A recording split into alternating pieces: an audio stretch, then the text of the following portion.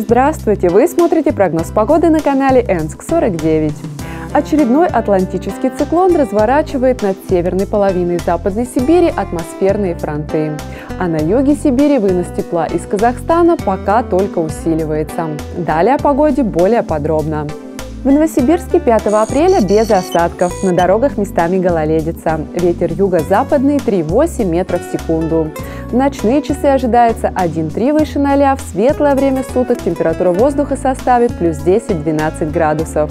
А теперь о погоде в последующие дни. 6 апреля без осадков, ночная температура плюс 1,3. В дневные часы воздух прогреется до плюс 13-15 градусов.